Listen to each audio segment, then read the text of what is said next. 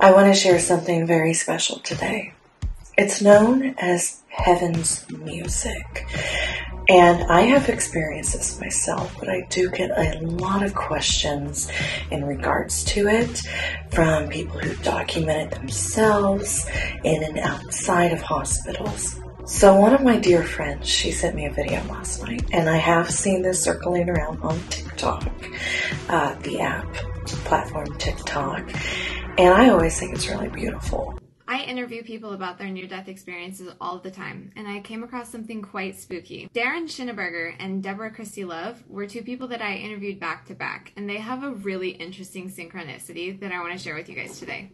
So I first interviewed Darren and then Deborah shortly after that. Deborah had said something about the music in heaven and how it's always available to us, and all you have to do is tune into it. And in her ethereal form, she tuned into the music and she tells us what it was like. Almost right after I was finished with Deborah's interview, Darren had sent me a message and said he wanted to show me something. It was a video of one of his friends that had passed away in the hospital room. But the interesting part about this video was there was music. It was angelic sounding music, but nobody who was present in that hospital room heard any music. They even took the video to the front desk and asked some of the doctors and nurses, and everybody said the same thing that they don't play music in the ICU. So it was an, an anomaly to everyone. Take a listen to Darren's video of his friend and then listen to what Deborah has to say about the angelic music from the other side. Hey, I'm sure always going to be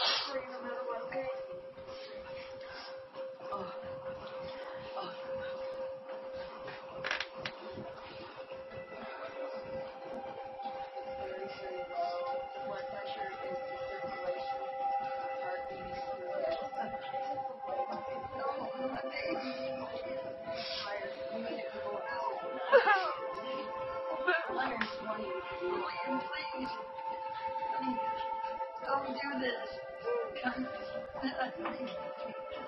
on, kiddo. Come on. Come on. Come on. We love you. We're sorry. We are so sorry. Anything stupid we said to you before that we didn't realize what you were going through. We love you so much. We are so sorry for any mistakes that we made. And we want you to come back so that you can be sorry for your mistakes and fix them all. You gotta fix them all. Please. Good man. You're a good man, boy. Very good. So proud of you. And the guides also told me I could tune into music. And there was beautiful, if I listened and tuned into it, there was beautiful heavenly music, like a choir. And it was the most incredible experience. It was not like music here where we just hear it, it was music, it went through you and you experienced the feelings and emotions. And, and it was like this wave of um, all consuming energy uh, that was very intense. And I remember at one point, I go, okay, I'm, uh, I'm going to stop listening now because you almost get overwhelmed with it. And I said, is it, they said, it's always there. It's, it's there whenever you want to tune into it, you can. It's always there for you. and I want to share my experience with it. So I work with a lot of dying people, the dead, angels, people who are losing their babies and their babies don't make it in this life, and so much more. So much more. And I have witnessed this multiple times, but the first time it ever happened directly to me was in my truck. so I was, um, I lived in a, in a cabin. I never had social media back then. And I, um, I'm leaving my cabin in the Rocky Mountains and driving from Colorado, the Rocky Mountains, Colorado, all the way to New England where I live now. And um, this was many years ago. And I was really going through an emotional state, um, very epiphany, emotional, overwhelmed, like, whoa, this is a lot. You know, just, it was kind of a very big life transition for me in my calling. So on my way there, it was a very rough trip. I had several of my animals, my dog, I had a chicken because I had chickens. Um, it was a Serama chicken. If you know what it is, it's like a very small chicken. Um, I had uh, my daughter and my partner, and they were in a vehicle behind me, in a, a 4Runner, and I was in my truck. It's a Ford F250 Super Duty. I've had it for 10 years because um, I used to be a rancher as well. Uh, got a pretty rough side to my pioneer and mountain living and um, being pretty isolated from cities and social media until I started sharing all this. Well, anyway, I um, am driving and my Arctic dog, a Siberian Husky, used to have a Husky team. And, uh, you know, to get through the mountains and, and ranches and things like that. But I, um, I'm just driving. I'm so tired at this point. The trip turned into like 38 hours because there were so many, so many bad storms, so much oil on the roads. It was just, it was a horrible trip. And it was pretty cold and rainy the entire drive. So it was just really difficult to cover a lot of ground like I normally do these days. So I also want to make it known I have not had a radio or stereo system or anything in my truck for several years. I wrote about this in my books. It would flash on and off, and it just it never worked. And I was getting communicating uh, frequencies through my radio. So eventually, um, I just unhooked the damn thing because I used to also be a mechanic when I was younger, a grease monkey, I would say. And um, so I know how engines and electrical and all that stuff works. I'm also, I've done a lot of electrical engineering in the homes that I built for myself. Uh, all that stuff's in my books and blogs. But anyway, so um, it's un, it's unhooked. It's not working and, and, it's just you know i usually would listen to something on my phone and i'd have a little speaker and you know it, it, it wasn't fun but my huge dog, he was on my right in my passenger seat, and I felt a presence come into my truck, and I'm driving, I'm doing like, you know, 75 at least on this highway because we had a little bit of a break in the rain. And, um, he, and I feel it, I look in my rearview mirror and I don't see anything, and I'm like, I know that you're there. And I've seen angels literally flying above and on each side of my truck before, like I've literally, and that's how I've also been able to document them um, while I'm on the road, anywhere I pull over and stop. This time I did not stop though, and I wish I would have because of the noise from the wind and the truck and everything. Well, my dog, he, um, Odin, he stay, he wakes up from a dead sleep, you know, because he was used to traveling. He would just go to sleep in a little ball in my big seat. Well, he wakes up, he turns around, he looks, and I'm looking at him. I'm like, you see him, you know that there's a presence here, don't you? And I knew it was an angelic presence.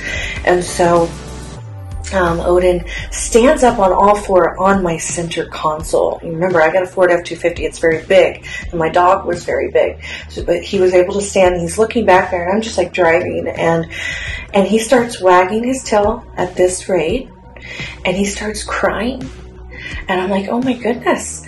And so I'm like, it's okay. And he sits back down, you know, he calms down and I grab my recorders and I drive a lot. You know, I cover, I can cover between 10,000 miles to 20,000 miles in a month. And so I'm used to, you know, driving and being on the road. And I drove for a living for over 10 years before any any of this ever happened. It was well over 10 years. I'm getting old. Anyway, so I grab my two recorders and I'm holding the wheel. I'm using my knee a little bit, and um, and I'm and I say, you know, who's here with me? And um, they say something, and you know, heaven does come up at one point. All of a sudden, you hear what sounds like a harp and, and maybe some chimes or something. It's, it's very heavenly, and they said that the music came from heaven. So I'm going to show you that because I documented it when I got to my colonial hotel um, near my historical society in Winchendon. This was the same trip when I was going to meet, um, we had Nick Groff, Elizabeth Saint, Steve Gonsalves, and Cindy Kaza, who had come out to my historical society's mansion, or one of the mansions. It's the Murdock, and um, and this was years ago. It was like 2017 or 2018, and and it was just incredible. And I had actually asked Nick if he had ever had that. He said he had heard that before as well. Um, and he was quite sweet about it, but we didn't talk very much. It was kind of a hectic situation. Oh, his twin sister was there as well. I think I have some old photos. But, anyways.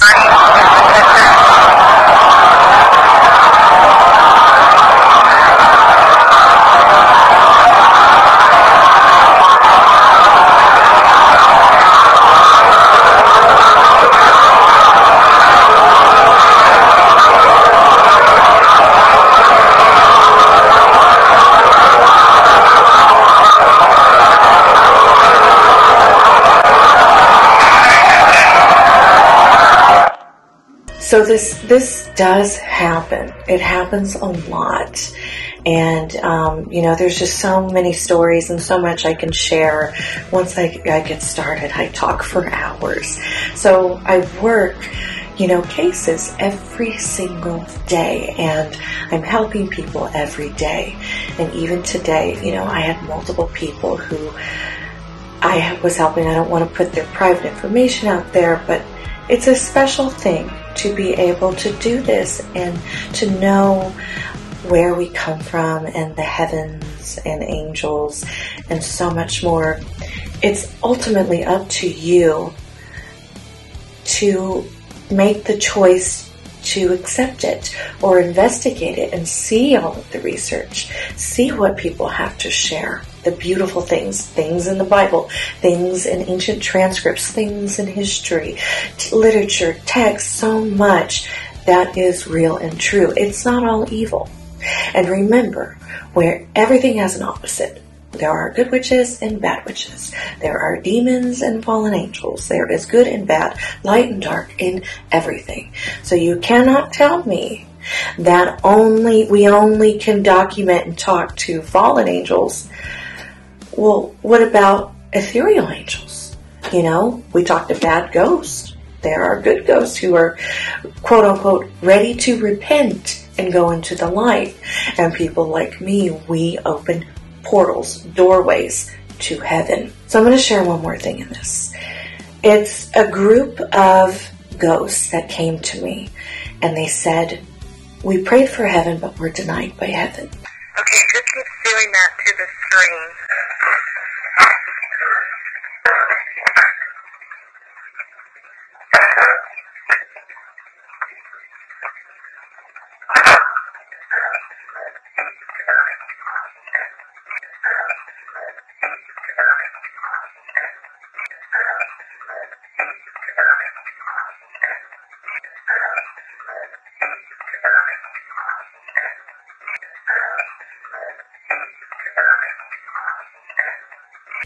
And and it, it does happen. It does happen. They are always ready to repent. That's what the terms that they use. That's what the angels, I've heard them, the angels telling them that, that they are ready to move on and move forward. And um, I'm going to share a little bit more to where when they say they know I'm, they say they know they're dead. Oh, that you haven't anything you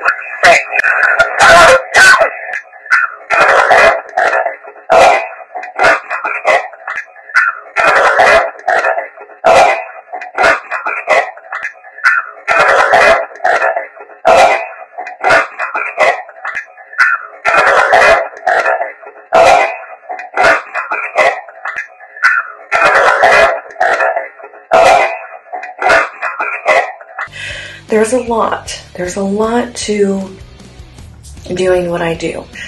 And, you know, I hope that this helps others out there, no matter what anyone thinks of me. I know who I am, what I am, where I come from. And angels are kind of outing me lately on it with the whole Enochian bloodline. Blessed